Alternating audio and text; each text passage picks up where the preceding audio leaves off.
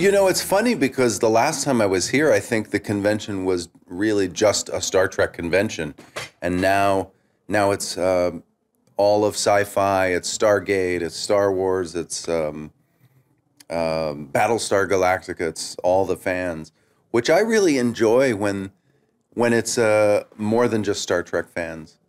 Um, the Star Trek fans, of course, I love. They've always been there for us, and and uh, are very passionate, very emotional about our show. They know the show better than I do, but uh, but I love to see the different fans getting together. The you know the Battlestar Galactica fans, because or or Stargate, because um, even though they may choose different shows that they follow with with such passion, um, they all have common interests in kind of a hopeful future or looking to the future and what will be and what we can create out of uh, out of our lives. And and there's a lot of things that are that are very similar. So i like to see uh, i love to see all the fans getting together